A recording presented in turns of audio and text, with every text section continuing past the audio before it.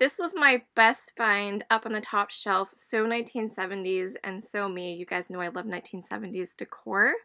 And they had a set, so they're bookends, and I just love them so much. I'm not sure if they're supposed to be indicative of a certain character from that time, or if they're just some random girls. They have the big bonnets, kind of like a Holly Hobbie, but I'm not sure if it is really Holly Hobbie. But as you can see, I got a phenomenal price of only $4 for the set of two.